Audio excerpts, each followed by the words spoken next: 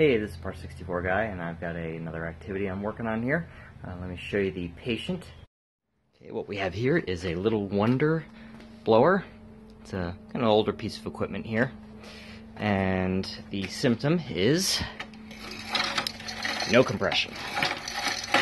So what happened here is I made the mistake of lending this out, and the person I lent it out to, who will remain nameless, did not keep checking the oil. As a result, they ran it dry and seized the engine. So broke it free and we had no compression. What I'm going to be doing is a transplant here. I picked up a Predator uh, 212cc overhead valve engine and I also picked up a off of Amazon a three quarter to one inch shaft adapter uh, with key. So I'll provide the links to that stuff uh, in this video. Alright, one thing you definitely want to make sure you do is take a look, record where everything goes, uh, taking the bolts out. So it's a matter of just getting this guy out the rest of the way.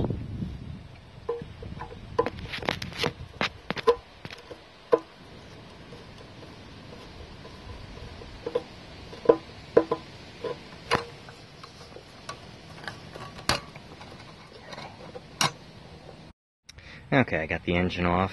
I'm going to go ahead and uh, spray this down. We'll let the uh, cleaner do its work here.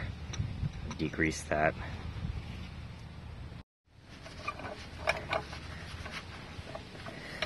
Uh, this is now cleaned up. It is prepared for the engine, the new engine to go on. So I'm going to go ahead and uh, get that guy out of the box and get him bolted on. So we're going to take a look in here. Manual.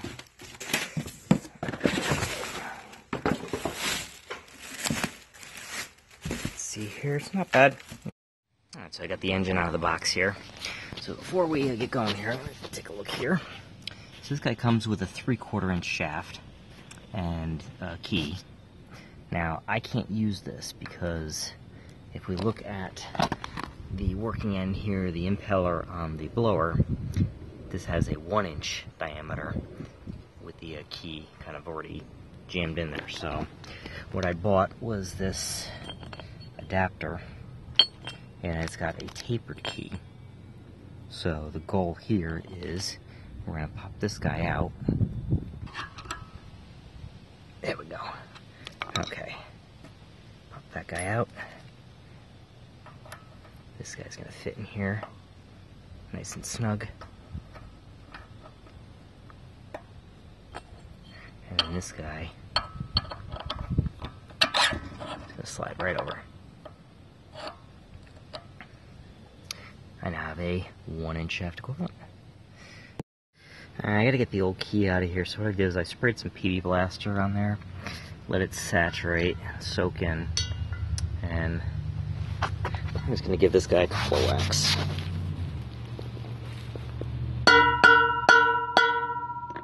Looks like it slid.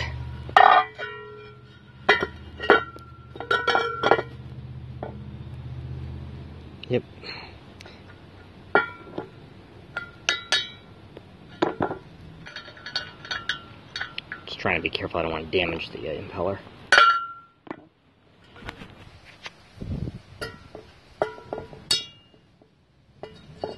Alright, there we go. So unfortunately I didn't have an assistant to hold the camera while I was installing the shaft adapter. Uh, it did take quite a bit of effort, a lot of harsh language. I ended up using a block of wood and a hammer to persuade the shaft adapter into the impeller. Got the key installed as well at the same time. So that's all set. Uh, now I want to check the balance on the impeller. It's an older leaf blower, pretty heavy metal impeller. If it's out of balance, it's going to put a lot of stress on the crankshaft. Uh, I don't want that. So a friend of mine suggested getting a motorcycle wheel balancer. So that's what I purchased over at Harbor Freight. And I'm going to set that up and show you the balancing process. This device is actually pretty simple. It's a stand with a couple of low rolling resistance bearings and rollers with the shaft and a couple of conical anchors that you sandwich the object to be balanced between and you just roll it uh, to varying locations to make sure it doesn't self uh, regulate back to another position. That's going to indicate that there's a heavier weight on one side and it's going to try to find equilibrium. And as you can see, it is out of balance because it's now moving on its own to find equilibrium. So it looks like the bottom half near these two fins, these two vanes, is heavier than the top. So if I bring this up here, you should see it rotate back. And sure enough. So I need to remove a little bit of material from, I'm going to move just, I'm going to take just a few file strokes from each of these uh, vanes here and see if that solves the problem.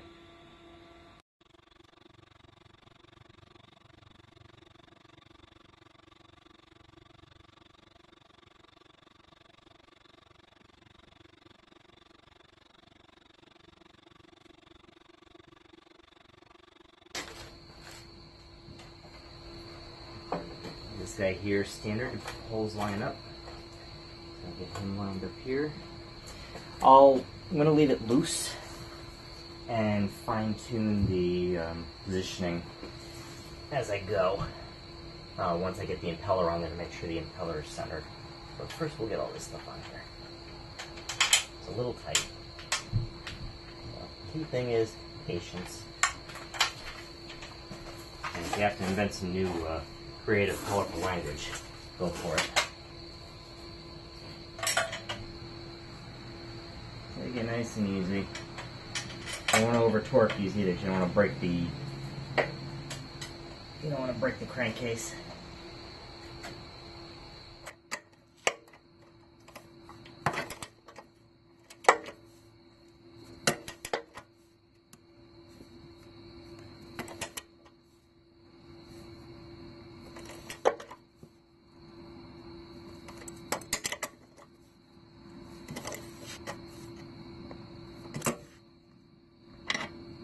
Okay, so the next fun part now is to put the blower housing and the impeller on.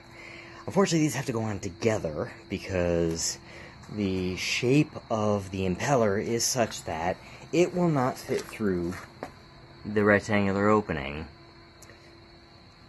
except at an angle, which means I don't have enough room to get it onto the crankshaft. So I'm going to have to line these up together, and then what is going to happen is there are eight bolts that will stick through the frame and those will get fastened in place with these eight nuts. So, here.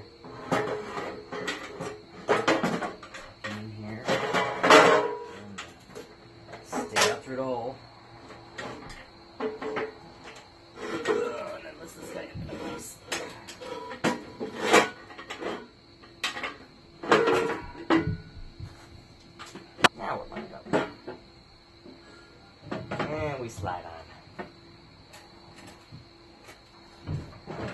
There we go. Okay. Good, that's not hitting anything, but I'll make sure that's adjusted later. Now to put all the bolts on.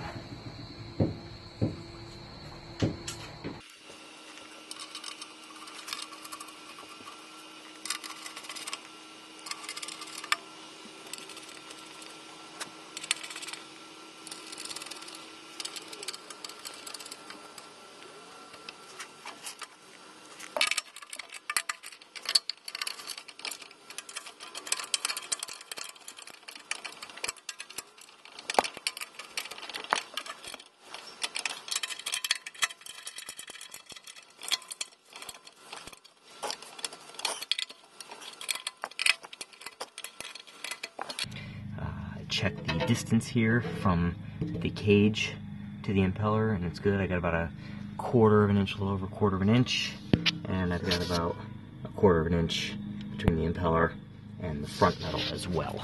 So this is centered in there pretty well. So I had to go pick up a new bolt.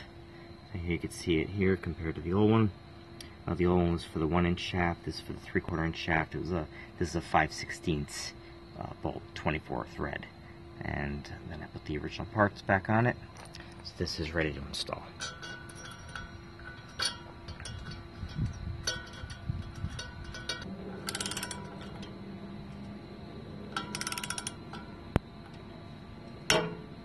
Okay. Uh, I don't have any specs on this guy, so I just I set my uh, torque wrench to something I figured would be a reasonable amount, so I got about 175 inch pounds on that. There's one last issue I've got to deal with, and that's the fact that the muffler hits the blower housing. So I have to make a little modification to the muffler. So first we're going to start by taking apart, taking the heat shield off the muffler.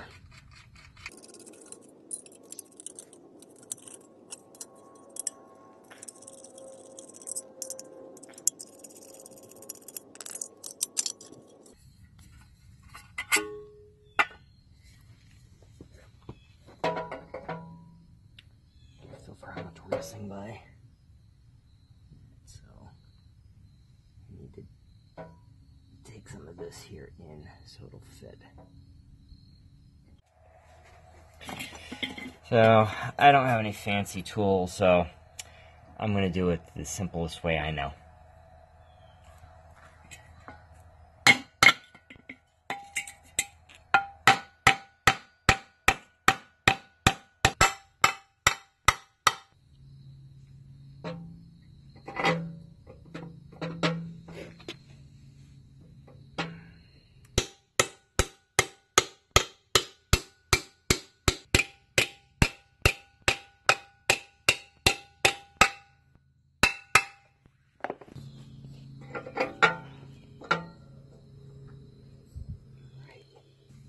Now you can see here, the gasket's now seated. So now we can put the retainer bolts back on.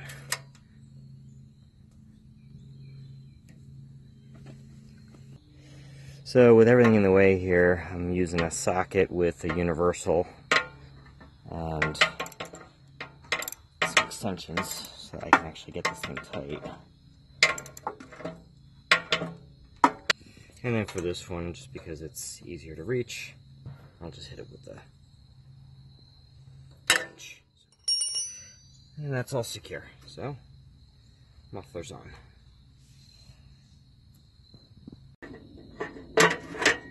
There we go.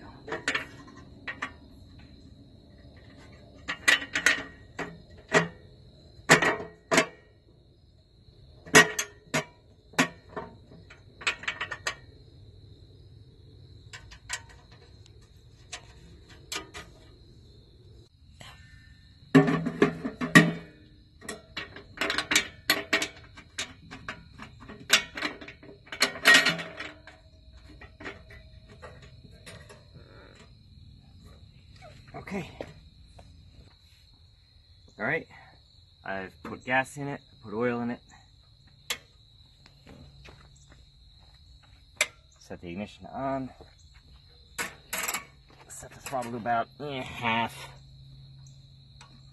Turn the choke on. Fuel valves on.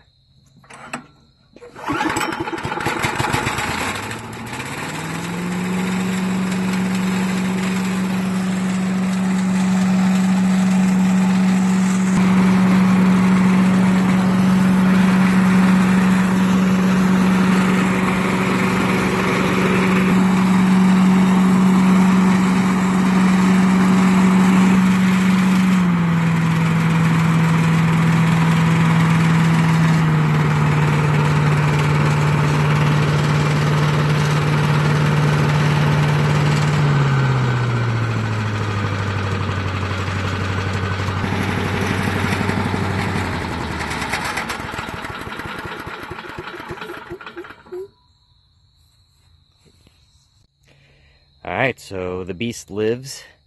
Uh, you notice what I did here also is the old foam was pretty well shot on the handle, so I just took some uh, pipe wrap and uh, stuck a piece on there. So definitely, definitely cuts down on the vibration quite a bit. Uh, because the throttle is actually on the Predator engine, uh, I can take this guy off as well. Doesn't need to have that on there anymore. And that's it. Well, that concludes this project. I hope you enjoyed watching it as much as I enjoyed finishing it. Uh, if you have any suggestions how I can make my videos better, please leave a comment section below. And if you like what you see and you want to see more, subscribe to my channel and I'll feed you projects as I get to them. Once again, thank you very much for watching This is Par 64 guy. See you next time.